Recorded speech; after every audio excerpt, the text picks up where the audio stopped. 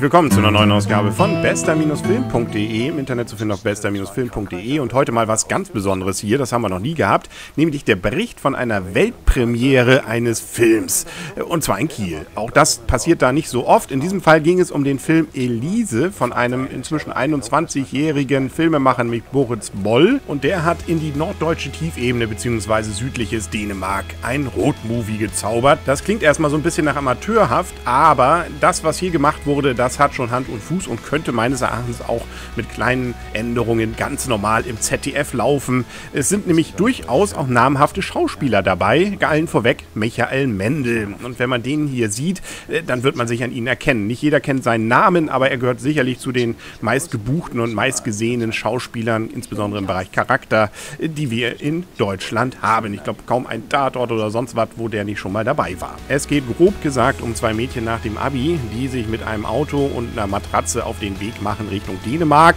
und sozusagen ein bisschen Freiheit genießen wollen. Dabei erleben sie so kleinere Abenteuer, die insbesondere erstmal witzig sind, aber auch die Freundschaft wird ein wenig auf die Probe gestellt und es spielt nachher auch noch ein älterer Herr eine Rolle, nämlich gespielt von Michael Mendel und äh, der, ja, man will nicht zu viel verraten, aber daraus ergeben sich dann auch nochmal einige Dinge, äh, die die Geschichte dann deutlich verändern. Bevor der Film startete, gab es erstmal ein paar Worte des Regisseurs und da hat er auch unter anderem berichtet, dass sie zum Beispiel in Flintbeck, das ist ein Ort vor Kiel, da kommt er nämlich her, ähm, eine schöne Außenszene drehen wollten mit einem kleinen Autounfall auf einer Straße. Alles war ausgeguckt, Ordnungsamt informiert und als sie dann dahin kamen, gab es dann Rohrbruch und die Straße war weg bzw. aufgebrochen. Da mussten sie erstmal neu suchen. Solche und andere Anekdoten gab es dort zu erfahren und wir werden gleich noch, nachdem wir den ersten Worten des Regisseurs gelauscht haben, dann auch eine ganze Reihe Interviews mit Darstellern, mit dem Regisseur selber und auch mit Besuchern hören. Dann mal viel Spaß. Sehr, sehr aufgeregt. Das sieht von unten hier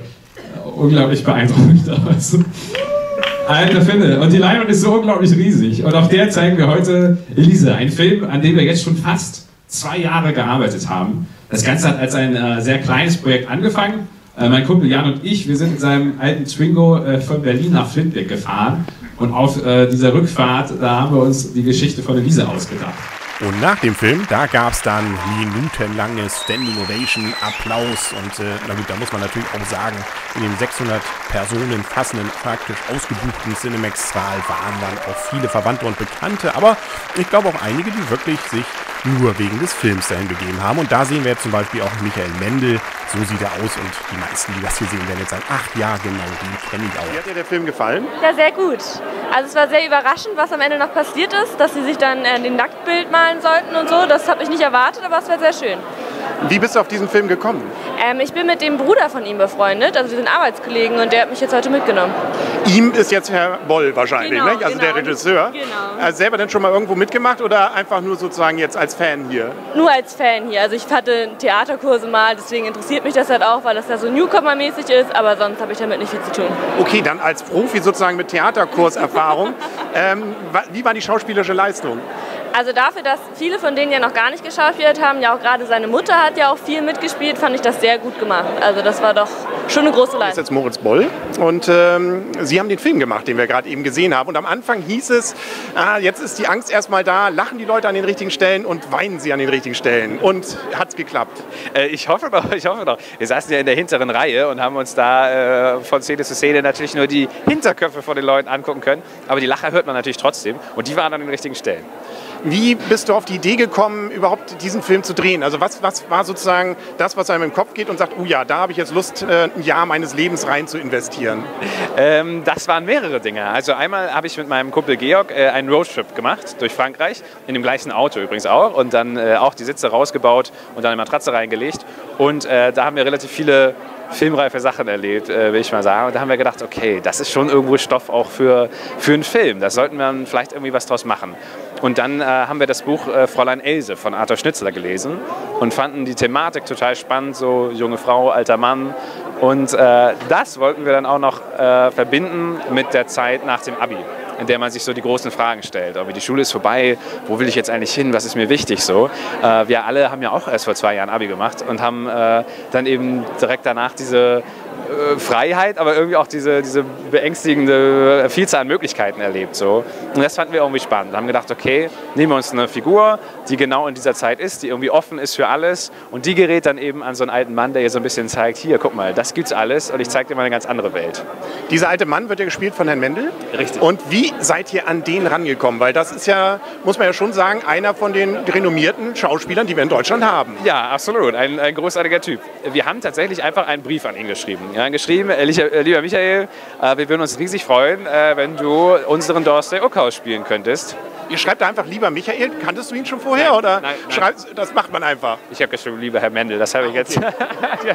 nein, nein, wir haben ihn schon gesiezt, aber wir haben ihm eben das Drehbuch zugeschickt und haben gesagt, ah, wir haben leider aber kein Geld und wäre das nicht vielleicht trotzdem möglich. Und äh, tatsächlich hat äh, Michael Mendel sich das Drehbuch durchgelesen und rief mich an und sagte, Junge, ich finde das gut, ich bin dabei. Hammer. Das war äh, einer der tollsten Momente überhaupt so.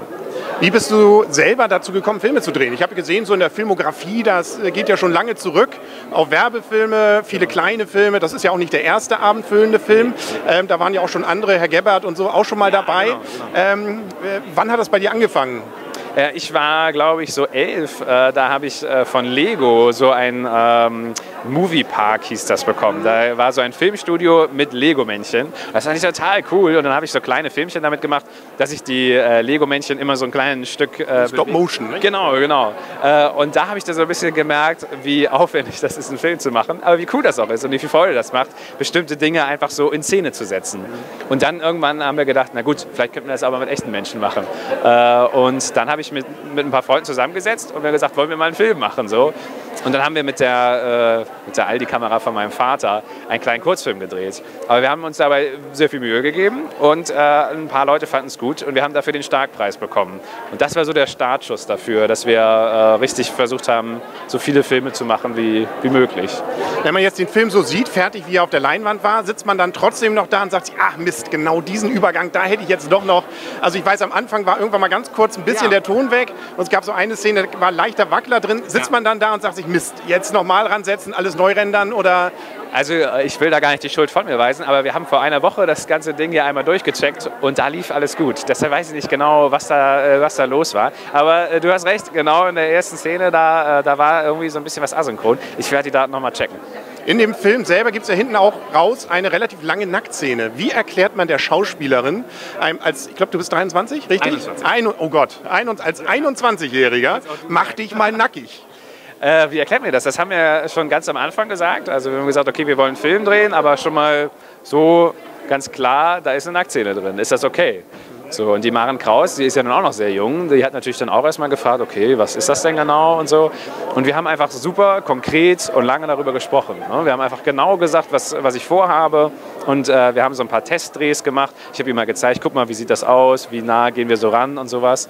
Äh, und dann war ich total dankbar, dass die Maren das so super gemacht hat. Also wir konnten da total gut so über Nuancen sprechen. Und dann war es wie eine ganz normale andere Szene auch.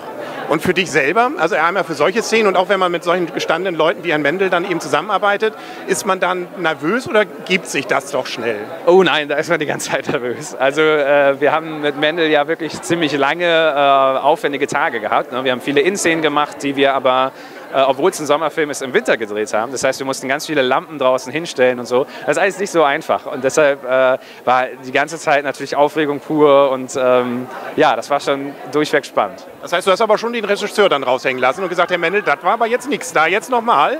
Naja, also es ist schon so, dass, dass Michael natürlich wahnsinnig viel Erfahrung hat so, und das einfach total drauf hat. Und deshalb habe ich ihn auch oft gefragt, was meinst du, wie würdest du es machen? Sag mir das mal so. Ähm, das ist so eine Sache. Ich wollte da jetzt auch nicht irgendwie sagen, hier, ich bin jetzt der Chef und so machen wir es. Denn äh, Michael hat bei vielen Sachen einfach äh, mehr Ahnung so und hat dem ganzen Film dadurch natürlich auch nochmal ein ganz anderes Format gegeben. Äh, und deshalb war das immer so ein, so ein bisschen so ein Gucken. Mal habe ich gesagt, hm, was hältst du davon? Ja, finde ich gut. Oder mal, würdest du es so machen? Nee, Moritz, das lassen wir lieber, das, äh, das machen wir anders. So. Und von meinem Kameramann ähm, soll ich unbedingt die Frage stellen, was war denn die Technik dahinter? Ah. Was habt ihr verwendet? Das ist schön, dass du das fragst. Das wird mir ja selten gefragt. Also, wir haben eine AF101 benutzt. Das ist von Panasonic. Das Pendant zu der Sony FS100, falls das jemandem sagt. Die Kamera von Sony sieht aus wie so ein Raumschiff. Das ist so ein Würfel und da dran ist das Objektiv. Und äh, die Panasonic-Kamera ist eben das Pendant dazu. Das ist eine digitale 35mm-Kamera, die aber eigentlich natürlich nicht dafür gedacht ist, große Kinofilme damit zu drehen. Aber es ist nun mal die einzige Kamera, die ich habe. Und äh, weil ich da jeden Knopf kenne und weiß, wie es läuft, haben wir gedacht, nein, wir nehmen die und mieten uns nicht irgendwie so eine Riesenmühle oder so. Äh, das ist besser. Und deshalb haben wir das Bild ganz kleinen Ticken aufskaliert, damit es auf die große Leinwand passt.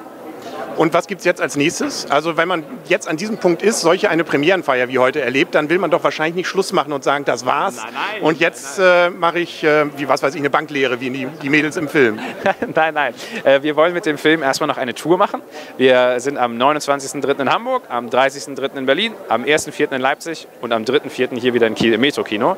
Und danach mal schauen, was dann passiert. Aber wir sind alle noch äh, heiß auf einen neuen Film und haben total Lust. Und auch Ideen schon? Äh, ja, ganz viele Ideen, aber noch nichts Konkretes. Und wieder ein Flintback. Mal schauen, ja, wahrscheinlich schon. Dann bin ich ganz gespannt, was da kommt. Uns hat es gefallen und auch von Leuten, ähm, die ich nicht äh, sozusagen vor dem Mikrofon habe, habe ich gehört, die fanden es auch alle gut. Also so gesehen ähm, sind wir gespannt, was es als nächstes dann von dir ja. zu sehen gibt. Und ich bin, ja, wahrscheinlich sind diese Aufnahmen irgendwann mal richtig wertvoll, weil dann, ja, da steht er jetzt auf der Verleihung da in, in äh, New York oder was weiß ich und ja, die alten Szenen, die krieg, dann kriegst du die wieder aufs, aufs Brot gebacken hier. ja, sehr gerne. also dann viel Erfolg und vielen Dankeschön. Dank. Das ist total lieb. Du bist sozusagen die Elise, richtig? Richtig, ja. Wie heißt du mit echten Namen? Maren. Und ähm, du bist jetzt die Hauptdarstellerin gewesen. Wie lange habt ihr gedreht? Ähm, also wenn man diese gesamten Drehtage zusammennimmt, würde ich mal schätzen, so ungefähr zwei Monate. Aber ähm, insgesamt hat sich das natürlich gezogen mit Nachproduktion und ähm, wir haben ja die gesamten Außenausnahmen in Dänemark gemacht und dann mussten wir warten, da, weil Michael Mendel einen anderen Dreh hatte, haben wir eben fast zwei Jahre gebraucht. Das ist das Witzige auch, dass man das jetzt sieht, also nach zwei Jahren, das ist absoluter Wahnsinn. Ähm, hast du, oder wie bist du rangekommen oder wie, wie ist man auf dich gekommen? Kanntest du Herrn Boll schon vorher?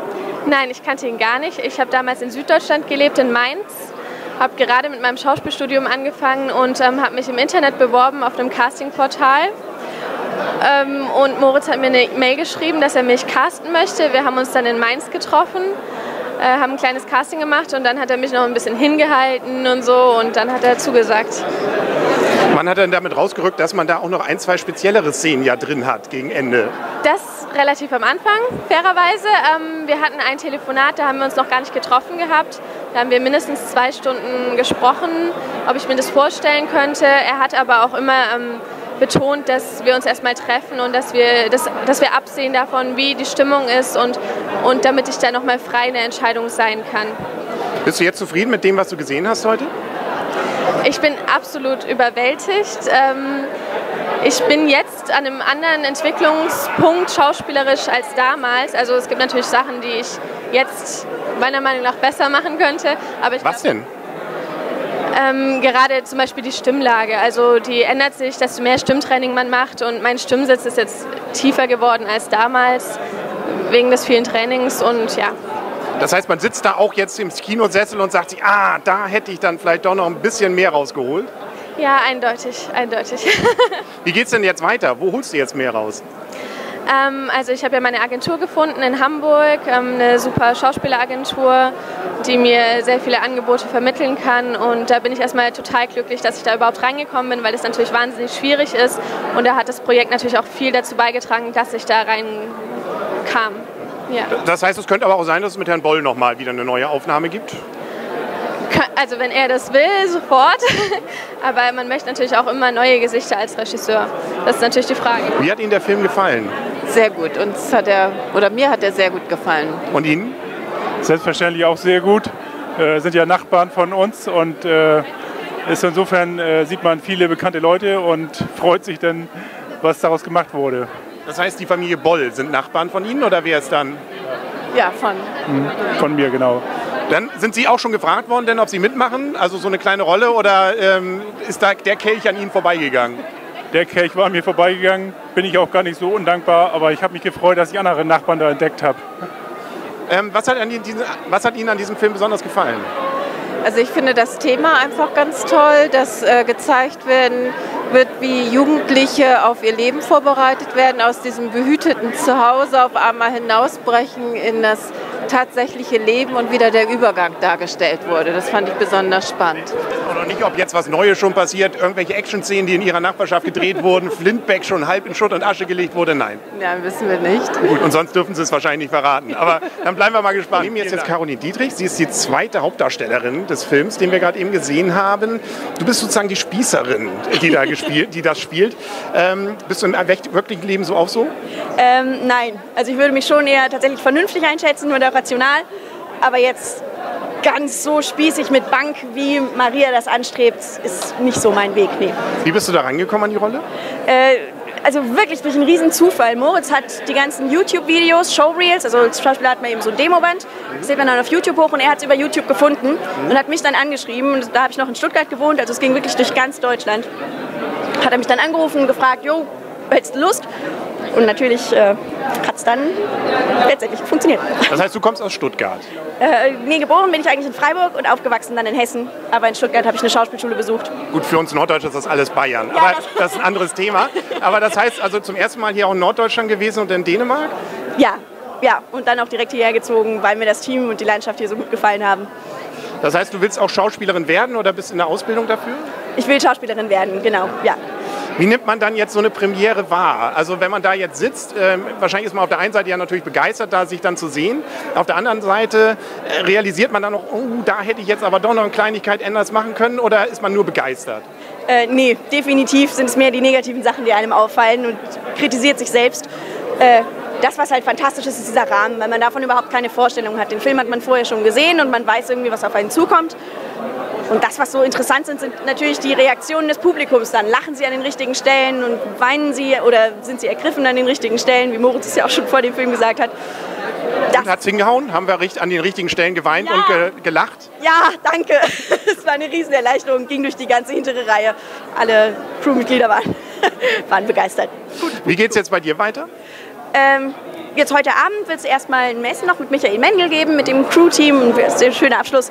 Und dann wird natürlich doch auch mal ein Säckchen getrunken.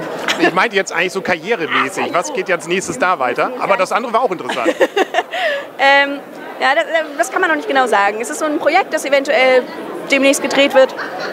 Ist noch nicht ganz sicher. Es ist, äh, Aber nicht mit Herrn Boll, sondern dann was anderes. Das wäre dann was anderes, genau. Dann auch nicht in Norddeutschland. Man guckt immer, was so auf einen zukommt. Wie hat euch der Film gefallen? Ähm, sehr gut tatsächlich. Also am Anfang ähm, waren wir noch überrascht, aber zum Schluss hin haben wir wirklich, ging es wirklich steil nach vorne. Was heißt überrascht? Ähm, die Wendung, also wo es erstmal anfangs eher so jugendlich, so wie ein, ähm, ich sag mal, wie so ein normaler Roadtrip mit vielen einzelnen Episoden war, war es zum Schluss dann eher doch die Gesamthandlung. Und wo ich sag mal, als prägende Szene habe ich dann immer noch diese Treppe in Erinnerung mit dem, was da alles verbunden wurde. Also da schon so ein bisschen, ja, Gänsehaut-Feeling könnte man schon fast sagen. Ja. Wie hat es dir gefallen? Ich fand den Film super. Ich bin begeistert davon, was er da wieder auf die Beine gestellt hat. Das ist unglaublich. Also die Anfangssituation war ein wenig getragener, ein wenig langsamer, aber dann hat der Film doch wirklich an Fahrt aufgenommen und im Laufe des Films war man auch wirklich gepackt und die Charaktere waren sehr schön und farbenfroh auch dargestellt und ich fand erstaunlich, wie auch gut, wie gut die Schauspieler gespielt haben. Also Herr Mendel, wie gut er dann auch die, die wie also die, die, die, die Augen, die Mimik, danke, danke, die Mimik dargestellt hat, das war hervorragend und ich bin auch wirklich begeistert, auch was da für Schauspieler auch wieder mitgemacht haben. Sehr tolles Teil. Wie seid ihr oder woher kennt ihr, wisst ihr von dem Event heute? Also die meisten, die ich interviewe, sind entweder Nachbarn, Verwandte, Bekannte oder zur Schule mit ihnen gegangen. Und wie ist es bei euch? Also ich kenne ihn tatsächlich über meinen Freund Moritz und wir hatten auch mehr oder weniger als äh, Statisten einen Auftritt, die jetzt aber da in dem Film in der großen ausgestrahlten Variante nicht mitkamen. Gott, und jetzt enttäuscht? Nein, überhaupt nicht, überhaupt nicht. Also, ähm, Was wäre es denn gewesen? Äh, das war, wenn Sie im Stimmen schauen, die Laper, die dann, sag ich mal, mit auftauchen, ähm, die dann, sag ich mal, in Gewandung nochmal eine extra Szene mitgehabt hatten. Aber passte insofern, wie ich das gesamte Werk jetzt gesehen habe, auch nicht ganz so gut rein. Also ich bin überhaupt nicht enttäuscht, dass wir nicht dabei gewesen sind.